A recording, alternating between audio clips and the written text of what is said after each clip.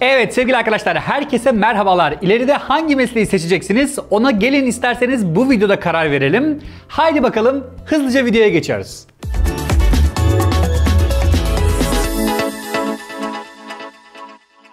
Sevgili arkadaşlar, ileride hangi mesleği seçeceğinizle ilgili birçok değişken var. O yüzden biz o değişkenlerin birazcık şimdi üstüne basalım. Sonrasında sizin biraz keşfetmeler yapmanız gerektiğinden bahsedelim ve sonrasında da o mutlu sona yaklaşmanız için elimizden geleni yapmış olalım. Şimdi sizlerden bir isteğim var. Şöyle gözlerinizi kapatıp bir açtığınızı hayal edin ve o süreçte 10 yıllık bir yolculuk yaptığınızı hayal edin. 10 yıl sonra neredesiniz? Kendinizi nasıl bir yerde görüyorsunuz? Çalışma ortamınız nasıl?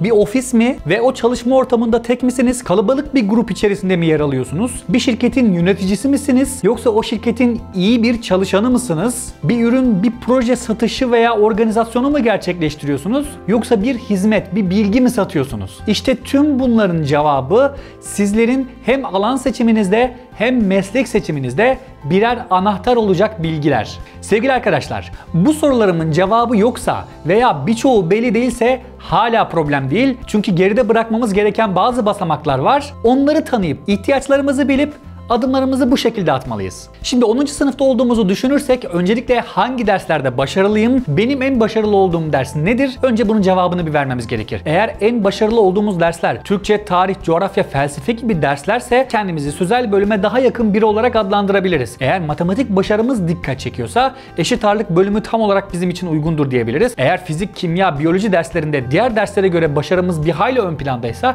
o zaman sayısal derslere yatkın olduğumuzu söyleyebiliriz. Peki ben sözel ders derslerde çok başarılıyım ama matematik seçemez miyim? Eşit ağırlık sayısal benim tercihim olamaz mı diyen arkadaşların da ilerleyen dakikalarda cevabını mutlaka vereceğim. Sayısal eşit ağırlık ve sözel bölümlere ait ders içeriklerini sizlere biraz önce saydım. Hangisinde baskın olduğunuzu gördünüz.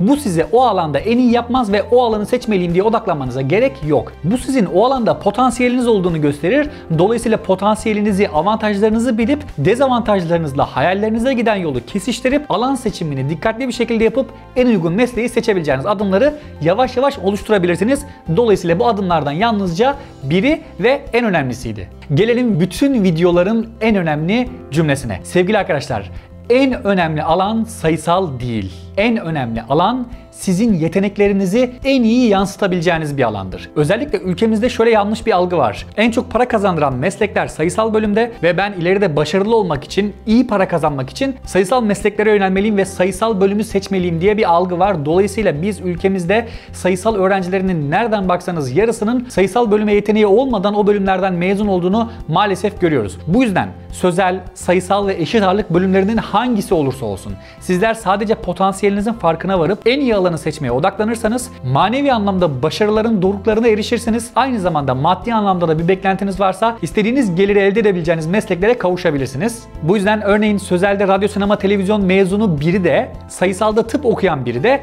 aynı maaşı, aynı mutluluğu yakalayabilir. Bu yüzden siz öncelikle kendinizi tanımalısınız. Şimdi isterseniz gelin biraz daha hangi alanda hangi meslekler var onlara bakalım. Sözelde tarih, coğrafya, edebiyat, görsel iletişim tasarımı, radyo, sinema, televizyon ve halk ilişkiler gibi bölümler yer almakta. Eşit ağırlık bölümlerine baktığımız zamansa işletme, ekonomi, psikoloji, bankacılık, iç mimarlık ve çocuk gelişimi gibi bölümler yer almakta. Sayısal bölümlere baktığımız zamansa tıp, mühendislik, yazılım, endüstriyel tasarım, fizik, biyoloji, genetik ve biyomühendislik gibi bölümler yer almakta. Dil bölümlerine baktığımız zamansa genelde bu bölümden mezun olduğu zaman mütercim tercümanlık veya dil öğretmenliği gibi meslekleri seçebilirsiniz. Evet sevgili arkadaşlar şimdi tüm bu söylediklerimizden hareketle artık sonuca yavaş yavaş odaklanalım. Eğer zaten yıllar öncesinden hayalinizi ve hedeflerinizi oluşturmuşsanız seçeceğiniz meslekler az çok belliyse bu mesleklerin hangi alanda olduğuna bakıp önce güçlü yanlarınızı daha da güçlü hale getirmeye çalışıp eksiklerinizi bir an önce gidermeye çalışın. Hocam benim istediğim meslek zaten uzun uzun yıllardır sayısalda.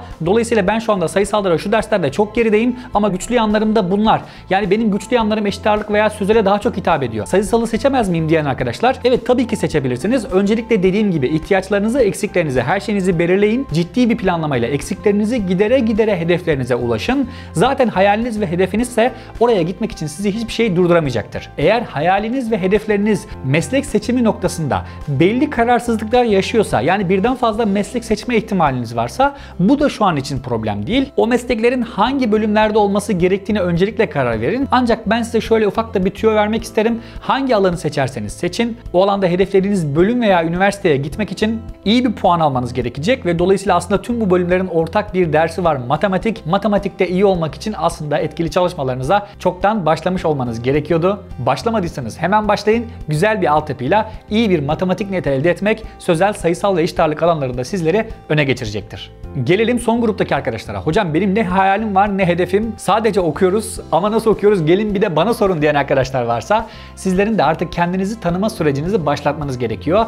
Artık bizler yetişkin olma yolunda çok büyük adımları geride bıraktık. Artık çok az kaldı.